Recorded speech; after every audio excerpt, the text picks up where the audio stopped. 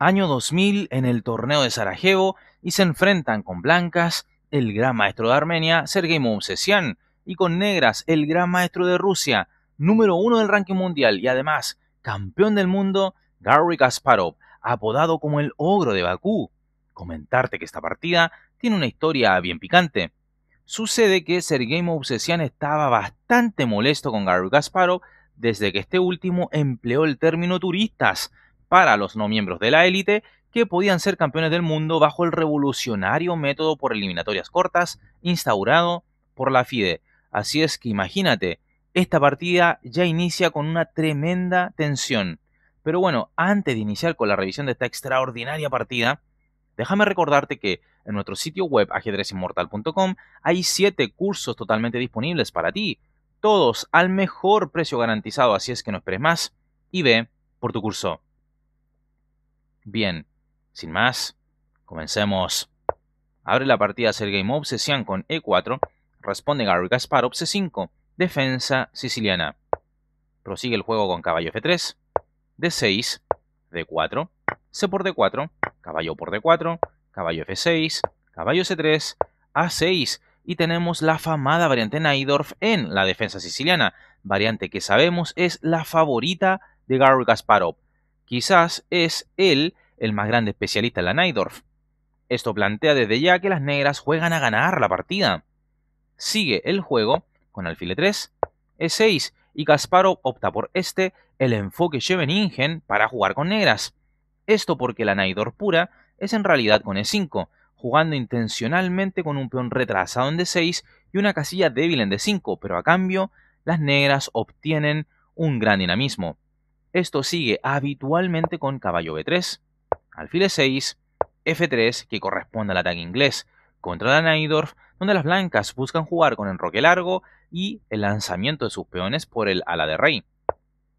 Se suele ver aquí alfil e7, dama de 2, enroque, enroque, caballo bd7, etc., con una posición de doble filo donde habitualmente se ven ataques por flancos opuestos en una carrera frenética por quien llega primero a su objetivo. Pero bueno, en la partida se ha jugado e6, sigue esto con f3. Igualmente Mobsesian opta por el ataque inglés, que ya mencioné, tiene como idea enrocar el largo y atacar con una tormenta de peones por el flanco de rey. Prosigue la partida con b5, dama de 2, caballo b de 7, enroque, alfil b7, g4, caballo b6, dama f2, mirando con rayos X al caballo de b6, así es que el ruso responde caballo f de 7, cuidando a su compañero equino. Rey b1, una jugada que tiene como objetivo quitar a su rey de la columna semiabierta C, desde donde las negras podrían iniciar las acciones contra él. Ahora bien, más jugado que esto, de acuerdo a la base de datos, es alfil de 3, a lo que sigue torre C8, caballo C2, dama C7, rey B1, etc., donde se ve que el alfil desde D3 protege el punto de C2. Pero bueno, en la partida se ha jugado rey B1, torre C8, ubicándose esta pesada pieza en la columna semiabierta. Ahora, ojo, cuando vemos partida de Siciliana Dragón o Siciliana Naidor, como es este caso, debemos considerar que existe la posibilidad de sacrificios temáticos en C3, donde las negras optan por esta posibilidad a cambio de lograr una fuerte iniciativa en el flanco de dama. Alfil de 3, y vemos que el gran maestro armenio acepta el desafío de un posible sacrificio en C3. Ahora bien, más jugado es caballo C2 a fin de evitar el torre por C3 antes mencionado, sin embargo, en la actualidad, los motores de ajedrez han demostrado que las negras siguen con ventaja tras un dama c7, luego de 5 para abrir el juego a su pareja de alfiles, y entonces el segundo jugador ciertamente queda mejor. Pero bueno, en la partida se ha jugado alfil de 3, torre por c3. Bueno, Kasparov se decanta por este temático sacrificio sobre c3.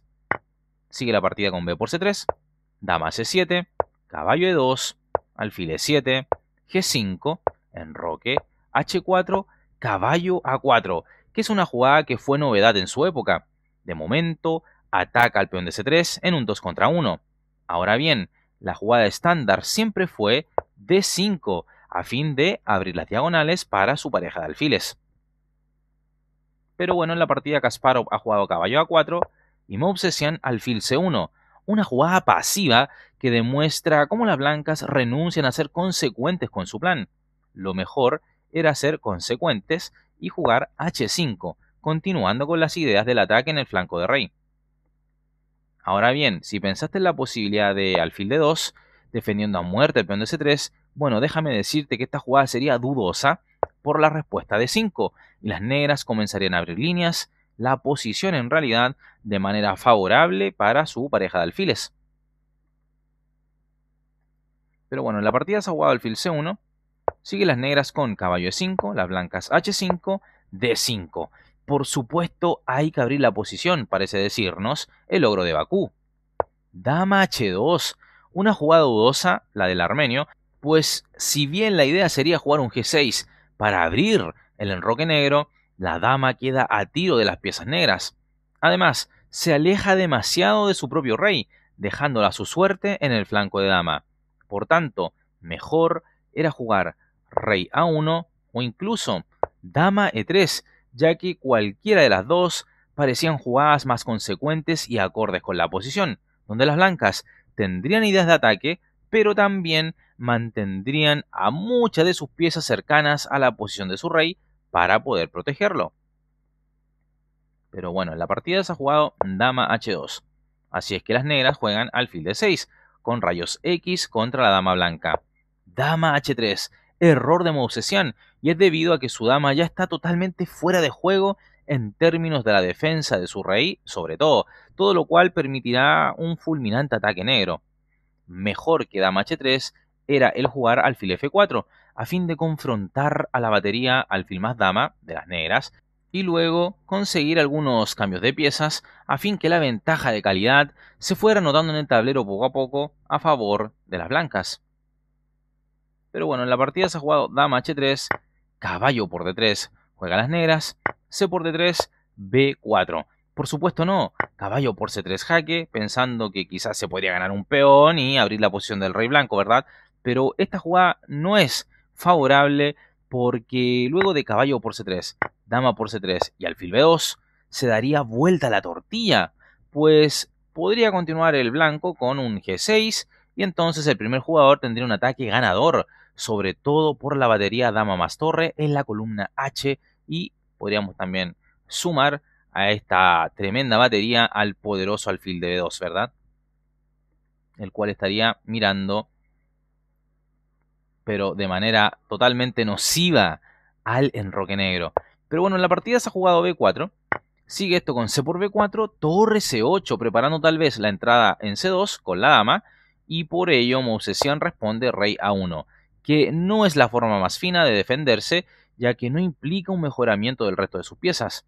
Entonces, esto se lograba jugando torre de 2, impidiendo un dama C2, jaque de las negras, aunque valga la pena señalar que las blancas de todas maneras estarían claramente inferiores en la posición. Pero bueno, en la partida se ha jugado rey a1, sigue las negras con d por e4, f por e4 y ahora te invito a poner en pausa el video y que encuentres la mejor jugada para las negras. La jugada es alfil por e4, excelente jugada de Kasparov, pero ¿entiendes la idea? Bueno, la idea de este alfil por e4 es que las blancas no tengan cómo bloquear el siguiente alfil e5 jaque de las negras. Brillante, ¿verdad? Bueno, Obsesión juega g6. Como anticipé, si ahora se juega d por e4, entonces alfil e5 jaque y la muerte del rey blanco caería en pocas jugadas más. Pero en la partida se ha jugado g6, sigue esto con alfil por h1, dama por h1, alfil por b4 y ahora tenemos igualdad material en el tablero. Pero a nivel posicional, esto es una masacre favorable a las negras. La posición del rey blanco es de una exposición lamentable, mientras que la del negro es de seguridad total. Sigue el juego con G por F7 jaque. Rey F8. Inteligentemente, Kasparov no captura el peón enemigo, sino que lo usa como un escudo para su rey. Sigue esto con dama G2, torre B8. Buena jugada del ruso, quien se apodera de las columnas abiertas B y C para finiquitar rápidamente la lucha. Sigue esto con alfil B2, caballo por B2, caballo D4. Lógicamente no. Rey por B2, por alfil A3 jaque, rey A1, alfil B2 jaque, rey B1, alfil E5 jaque, dama B7 única y ahora torre por B7 jaque mate. Es por ello que no rey por B2 y Mousesian juega caballo D4. Sigue la partida con caballo por D1, caballo por E6, jaque con doblete a rey y dama, pero las negras no tienen problema alguno con esto y responden rey por F7 y ante esto Sergei Movsesian abandona la partida. El motivo es simple, si ahora dama por G7 jaque, entonces rey por E6, dama por C7, alfil C3 jaque, dama por C3, caballo por C3 con ventaja decisiva.